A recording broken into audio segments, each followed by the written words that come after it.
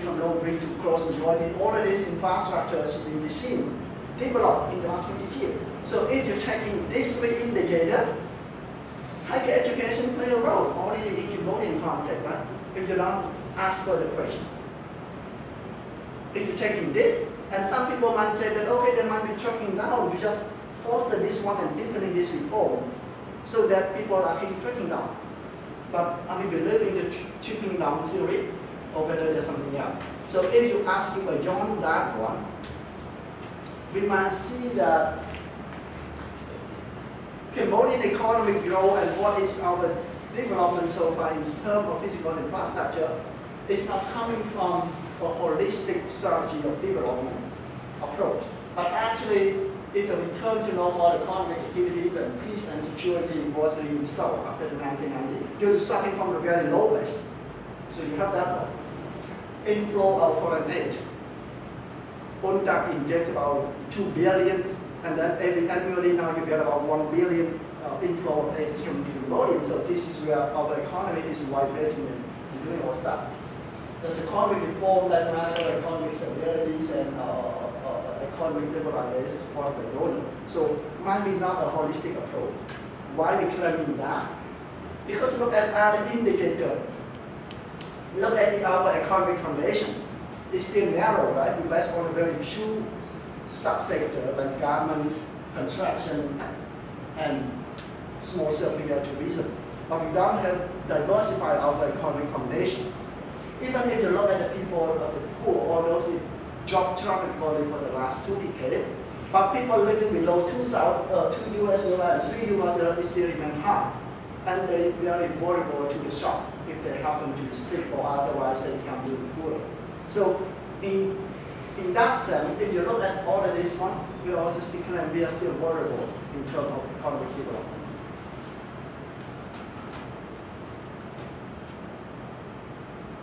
Again, you go not to publish, you to see this, you to see this. But look at what they can. So in order to solve this problem, they say that we must go deeper in terms of reform. So look at what we are doing currently. The mainstream analysis is in terms of promoting economic development with the private sector.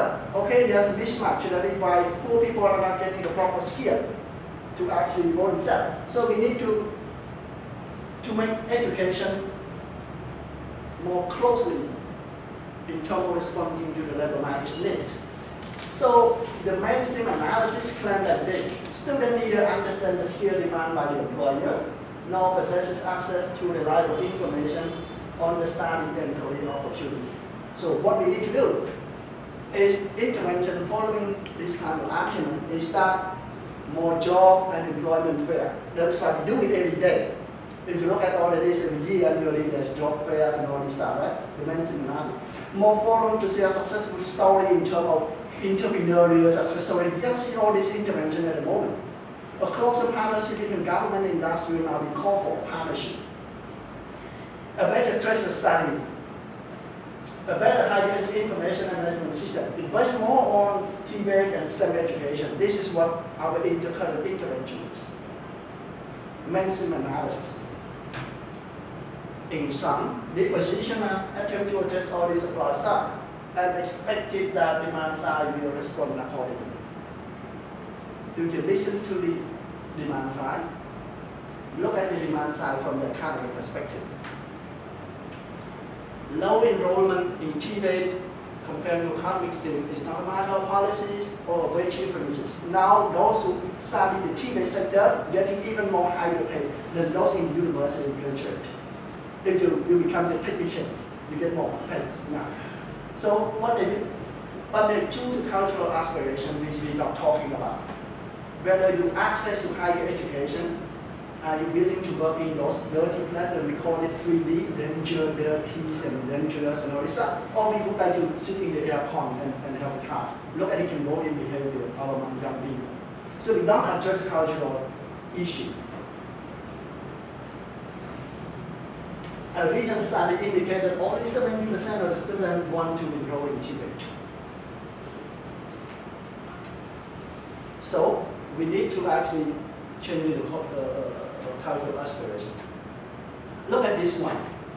In a new modern Cambodian, which is rely on the service and urbanized society, university college is seen as the key to success. But sector is too small to absorb a growing number of students. This is the result.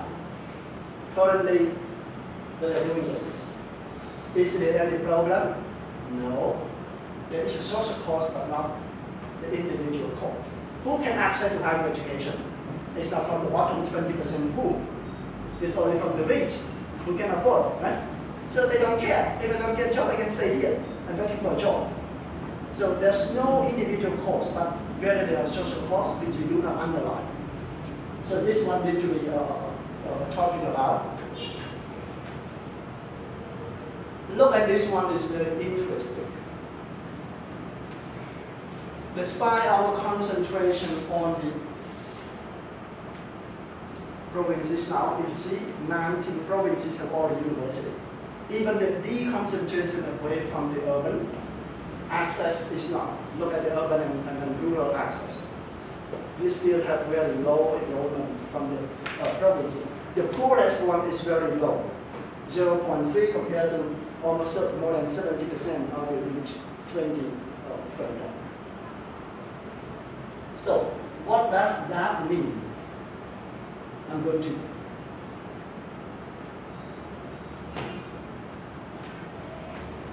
look at this. A trace study is like this. We can see that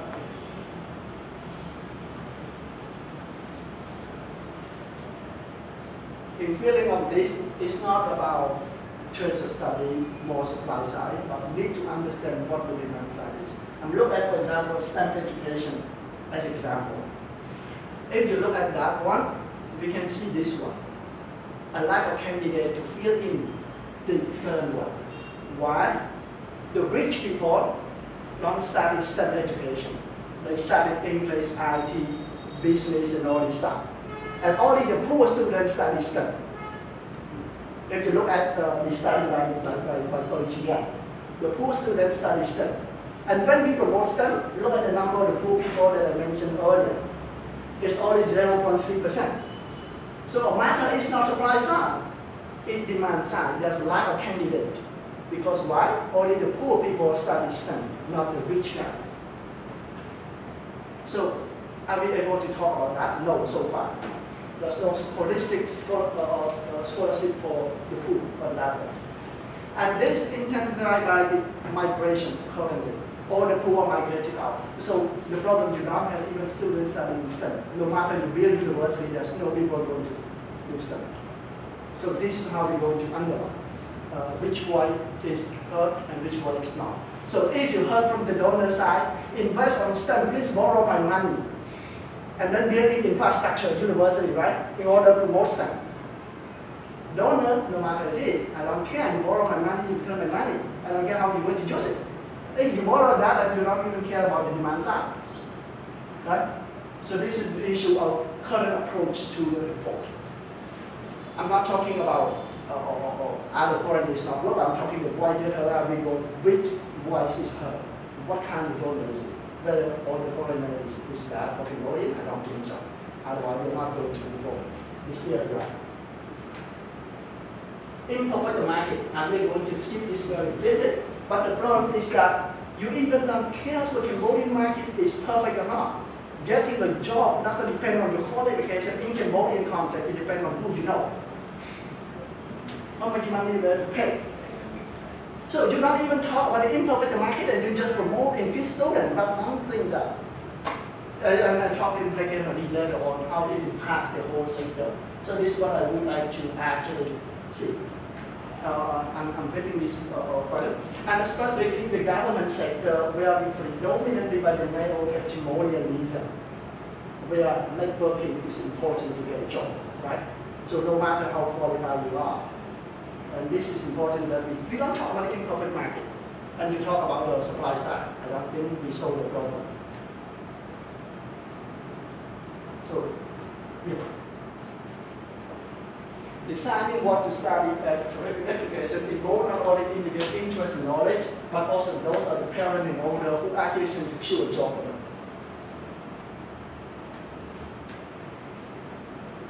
The study said this one uh, by the G1. Young people place the trust in the family or exact in the community stream or social network in deciding what to study. Otherwise, you're not getting a job. You will just skip that a bit. Okay. An important one is this one. A lot of other students choose major based on the social appeal such as well-paid job in the NGO, international organizations, and banking or wholesale, but not the other. And if they don't have a job, they just stay in company waiting for a job. Do it and look at the rural area today. There's no even job people. The university stay there.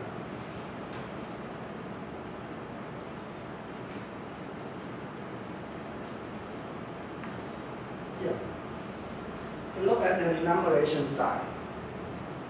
You call for STEM, STEM, STEM, STEM, but look at the engineer, pay how much comparing to the bank. In other country, if you be a plumber, you are richer than a, professor, richer than medicine. But in Cambodian context, it's not. Look at engineers who are, who are going to ordinary construction. It's paid lower than the international aid organization, especially from World Bank, we can start to pay very well comparing to the local engineer. So you don't talk about the enumeration. So you don't talk about the imperfect labor market. So you're talking about the supply side. So this solve the problem, I think uh, it might not.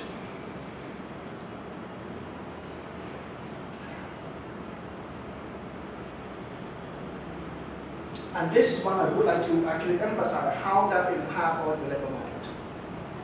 When you go into the job, suicide or suicide go to all the stuff, this is happening. Those who work in the rubber research institute in the government will go in to support the farmer, go into the rubber uh, plantation, don't even know what the rubber tree is. So this is the story of the recent report. The study we have one time the staff member from the Rubber Research Institute was sent out to provide technical assistance to the plantation. When going through the rubber planting area, he noticed the rubber tree, not knowing what they were, asking the rest of the people in the car, what are those trees? And this is because the imperfection, imperfect the. Then get into the job without expertise. And if you know it on the list, like uh, food engine, uh, food processing, all the standard safety, look at all this around whether sexual level you can see this there is another standard. So what? Uh, we know that the future of today is to be more increasingly interconnected with interdependent world, and that is why we, in, we, we are going to of this stuff currently. And that is why, again, I would like to emphasize this one. We are now currently this one, and because we look at the future as interconnected and interrelated, that is why we do all the internationalization. But should we ask it, what does employability, regionalization, and globalization that our education system is aiming at mean for Cambodia? Did we ask at all whether that internationalization benefit Cambodia or not? Do we ask that question? Probably not. And then this is one of the quotes that I uh, did it and we beat out. We are more a city now. It's not because I went to Africa for my fieldwork and I take this and incorporate into our research here. Is this one. In our single-minded pursuit to create a center of learning and research of international standing, we have a true researcher and educator who have the capacity to work in the surrounding community, but could move to any institution in any industrialized country to serve any business community around the globe with the competitiveness. Talking English, Okay, you have mastered English, but where are you going to work? Whether you work with the 70% of the people in the, in the rural area, or be working for, the for small private sector in the urban, and going out for the region. So where are you working? Look at already the current, current, current situation that we Suppose that we have a very good scientist in terms of chemistry or bio or whatever, do we have a sector to absorb them? I have quite a lot of, of my friends who are actually doing a PhD and postdoc around the globe, but have no landing on the ground because there's no sector of software employment. So they just end up doing postdoc in the two or three countries. In our failure to contextualize the standard as excellent to the need our own people, to ground the process and agenda of learning and research in our conviction, we end up to create a scholar or researcher or whatever it is with little stigma for the very process of development that we want to have. So that means aiming the internationalization without contextualizing, we producing the people who wasn't able to work with the surrounding community. And this is where I'm afraid of. Our asking the question of discourse analysis, of where those graduates are looking for. If you go in beyond the economic growth and development, not only me asking this question, a lot of people before me even asking the question long time ago, 10 years ago, like uh, uh, Dr. Jin Lee, who is now director of OGDP, asking the same question. Some professions which are needed for social and national development are neglected in order to serve what are often served like the global market force. Actually, he asked it 10 years ago about whether we solve this problem, whether that's why it's hurting the policy making. No. Sister Lee, that's mentioned here, this is a foreigner. She only oh, asking the question recently that Cambodian response to the public-private good question seem to fall in the private good arena. The view by the government that higher education is a private good and does not find the responsibility by the government seem to be unstated by the real if you look at all the policies. It's all favor on the private goods, not favor on the public.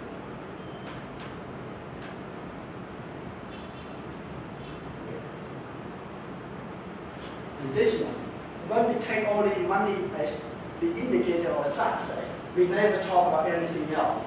Like struggle for survival among the war, 70% of the population will struggle for survival is still not. Recently, like for example, water crisis recently.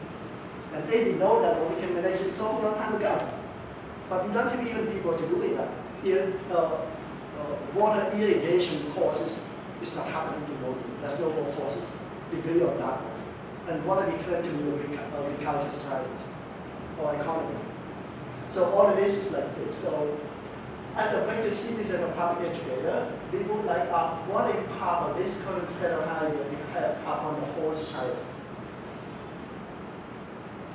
And for me, taking advantage to go further, not only is asking, is there any alternative vision for Cambodian and Cambodian higher education? This is what we call it where to internet. So I try to answer first uh, the second question. Look at all of these indicators first. The current approach to higher education from our analysis is that we focus again and again on employability skill, respond to the private sector, and there's nothing to prepare students for the nation building. There's no course in citizenship and civic engagement. Nothing at all. We're talking about how to respond to the private sector. There's no courses that deal with social justice. What I mean, a fair share benefit and fair share burden. We produce better than the, the indicator on one. Public good like food safety, security, road safety. Do we care about all this? We already hear that they do every day die of traffic accident. They die of food, but who care about this? Whether they, produce people to respond. Again, underlining the cause is that we do some reform, focus on form, but not the content. So we change form here and there, but changing substantially the way we do anything, no. So in my own rosary to use in Khmer, uh, I use that we mean combine to roll the banana, we are mean combine command. So roll the big way neck chain that job, all you will hold the guy with your Còn so sự thật khâm xa như thế, nơi cái đó đi bỏ. Bạn nhá, khăn cứ khâm xa như thế đâu mình men mình men đúng đấy.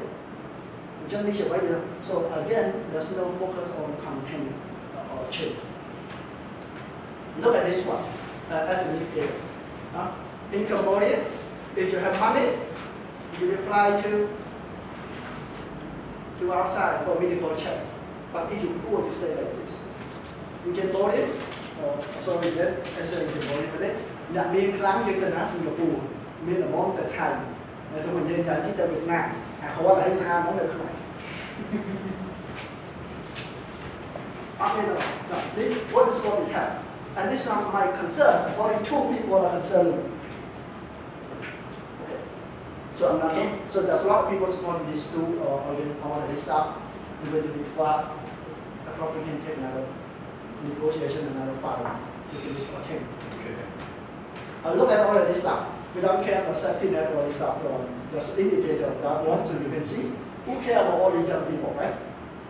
Or everything is like that. But what interesting, I see this guy play as a police role during traffic.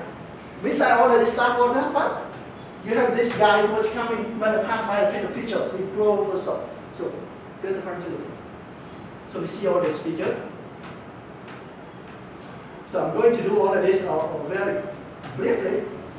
Look at central market before and after. We don't care for public goods and public safety or even aesthetic of society. We don't care for those, but we care for those. You know how, how, how much it is one plot in that one, right? One store in that one, expensive. So you just want to clear it up all the tree and go to store, get in so that you can sell money. Look at all the lifestyle now. Even some related. All we would like to see these old people. This is picture I take from the Netherlands when they all enjoy life like this. You look at the old Cambodian, enjoy life like this. Look at how many are trying to struggle when they get old, right? And even we are when all the old building, just seem to be very probably just because of the land properties, it's cutting up everything, so it's really where are the master plan for the national development as a whole. So I might not be here. So just a call for the end of my slide is that it's only art that provide meaningful and not silent technologies. Whether we live or not, this should call for uh, education for a meaning of life rather than education for growth. And for me, my conclusion is that if economy gain equal to the meaning of life, Japan does not have a high rate of committing suicide globally.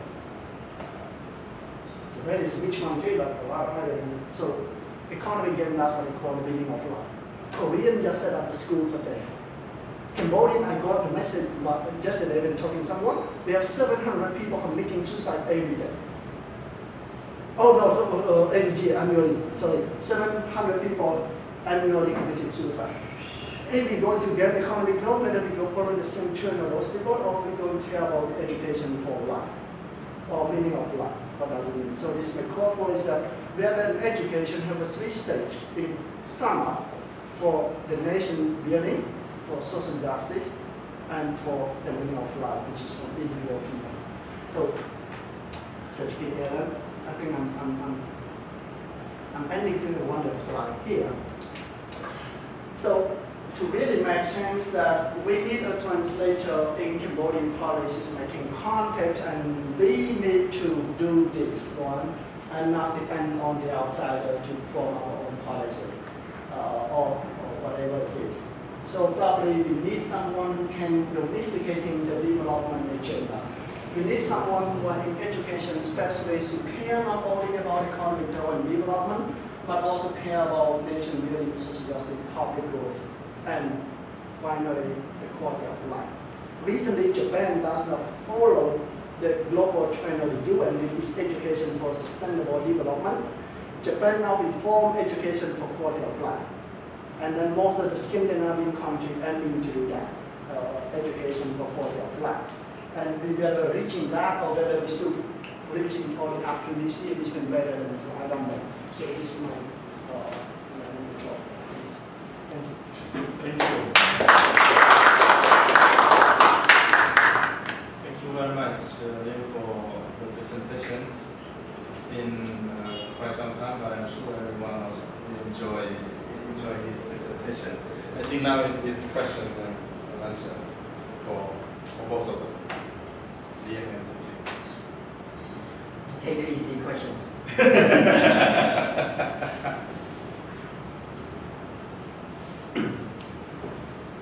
Maybe just, just, just for matter of uh, knowing each other, getting to know each other more, maybe you can introduce yourself. Short one and then question. Hi everyone, my name is Manin from HBX Law. I work a lot in the legal field, but I also do a lot also in uh, development and uh, governance related issue, dispute resolution like that. I know them before and we discussed. At first, I must say that the result is quite comprehensive. Although the two arguments of the quality of life, science, technology is still there, um, I'm not quite sure what you would like to suggest. Uh, what should Cambodia take? You should say whether we have a good discussion and good knowledge of STEM, whether STEM will help Cambodia moving forward, whether STEM will draw Cambodia backward because of the lo- loose of focus on quality of life. But how can you produce quality of life when you don't have the skill? First, I must say, a country that based on just social philosophy and uh, agriculture base will not grow. Globally, only the country that has science and technological knowledge and capacity will lead. And you can see they develop all that, they produce the wells. Agriculture is very much fluctuating, depends on technologies and all of that. So if we don't have this knowledge, then we don't have money, we don't have food, people will fight, people will see all other people around the world getting rich and all that, they want to fight, keep moving and all that. So it's still a big question of just balancing. For me, maybe quality of life, nation buildings, all that to be at the foundation. The focus should be at the foundation level. Basic education, something like that, teach people how to behave, to love, to interact, to uh, uh, you know know the meaningful of life, environment, all that. But beyond the, the basic education, I would say we should focus on the TVET and then higher education mostly for academic, for research, for a higher uh, end skill. But we need to do that because Cambodia don't have that skill. But of course we have to balance. And Cambodia now has to face the two challenges, what TVET and the higher education.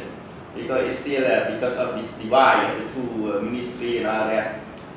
Claiming higher education and TVET, TVET, higher education is still a mix. How would you direct this? I think what you say also, uh, the content is very important. Cambodian is standard. We talk about STEM, but we need to understand what is what are STEM. What standard do we produce? I used to have Ministry of Education. I used to have with the Ministry of uh, Vocational Training. When we when we talking about the standard, we're talking about status. Because they adopt the qualification standard, it's meant to give a status, who you are, but not to look at what can you do in order to say you have this skill. I agree with that, but it's not just about the policy, it's about developing that standard. So what the Ministry of Education can do as the leader of the National Council for Education, being responsible for developing education standard, but somehow cannot be or how, I don't know, you know, it's just uh, something, but I agree that standard is very important. We have to link it with the, in the industrial standard, more beyond that industrial, all the standard. We have the national standard institute, but they don't develop really much standard. We're talking about construction standard, we're talking about other standard, but those standards have not even been adopted. And how can you teach them when you don't have standard? This kind of thing. But yeah, we have to think quickly, we have standard in local, national, whatever standard, teach the people how to do those. And then the basic education should focus on what is called building the social uh, justice uh, uh, engagements, um, kind of community networking, whatever like that, literature, reading at a basic level. So for me, it's nothing wrong to focus on STEM, but we have to know what is STEM, how we have to select because there are many types of STEM. Whether we should do science, we do technology, we do engineering, we use math, uh, what are these? In fact, yesterday there was a good discussion, or another, another great discussion, but one leading professor, he said, maybe we should talk not just STEM, but STEAM. And now here I see that it says STEM and, and agriculture. So maybe I would say STEMA, uh, STEMA rather STEM. Then I'll put everything back to the board that everything is important. From the science, technology, engineering, mathematics, uh, agriculture, and arts. The other A is art, so they call STEAM, rather STEM. And you have also STEAM, so I must say maybe STEMA, somehow like that. Thanks, just, just to share my uh, observation.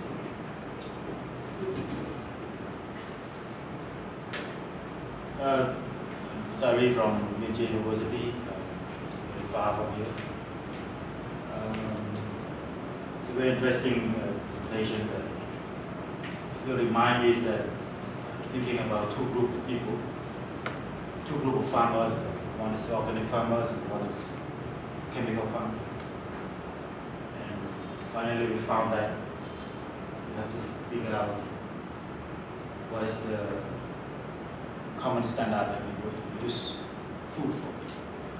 So now we have seem to be a challenge uh, between making good people smart We really focus on STEM or STEM or STEMA, it seems to be that we really focus on how to produce smart people in society. At the same time, how, how we balance these smart people to be more uh, good people. Seems to be like because I'm working basically on agriculture, so good people, good farmers, people who use organic product. If you really respond to the market, if you want to respond to the market, so we have to go to the chemical agriculture. Education is not, it's not seem different from this.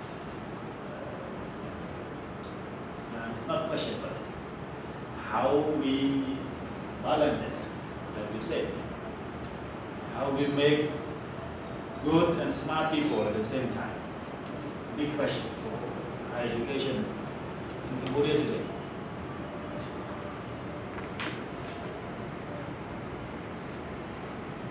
Response? You want to say? It's common, so uh, it, it, first of all, it's, it's beyond the scope of the research, the common so far, but uh, we had a bit of uh, argument be, before we came here in terms of how much we want to cover in the presentation. So, you know, because of the lack of, of knowledge of who the participants are, we agreed that we would broaden the scope of the, the talk a little bit. And that's bring this interesting question that we can discuss, of course. But uh, again, it's beyond the research question that we try to cover through empirical data. My take on it is that um, it goes back to the one million dollar question of the aim of education, in higher education in this case.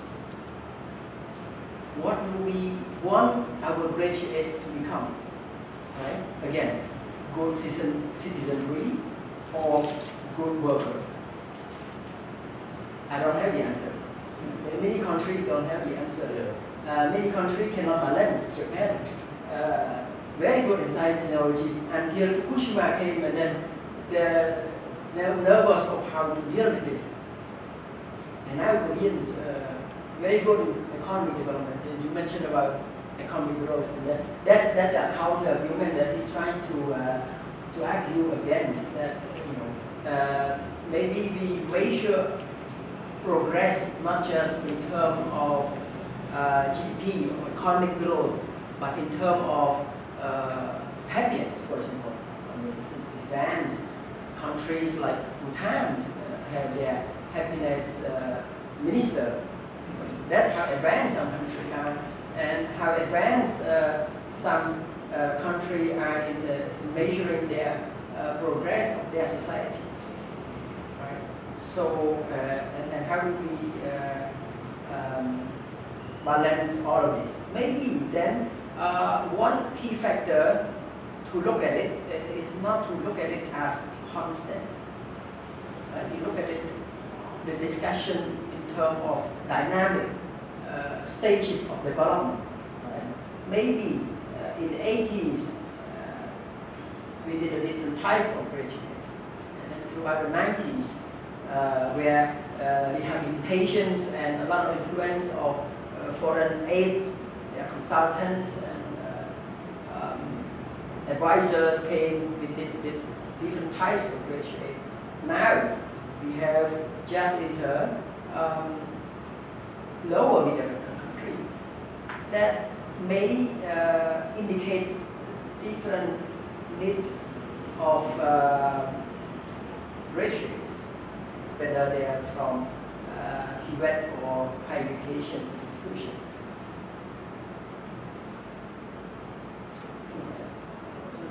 And then I said, uh, there's a debate is going on. The problem how we're going to take that is in my in, in this final slide is including remark is that what we try to ask is what if to to make sense of what is happening in the last 20 years so is the translator, as you mentioned earlier STEM. Okay. But what kind of STEM do we need? When we're talking about nurse, for example, we need a nurse to take care of old people, or we taking assistant medical nurse as injecting all this stuff. Are we going to analyze in the detail of what the body need is at the moment is not. If you look at all those, who can claim to know what kind of the people do we need in STEM? No, everyone talk about the STEM, right? But to what level we can tailor our program to meet the nation need. And that is why in here, I try to actually, we need translator, not literally, but this one, employability skill. Whether we are able to domesticate that employability skill in the local context. And in Cambodia, as I mentioned earlier, we see is the regional and the global trend. And if you talk in higher education in particular, everyone are afraid of free, free flow of skill level when we enter into ASEAN communities. And then what are the skills are being produced? We aim at, at producing the skill that can migrate across ASEAN. But how about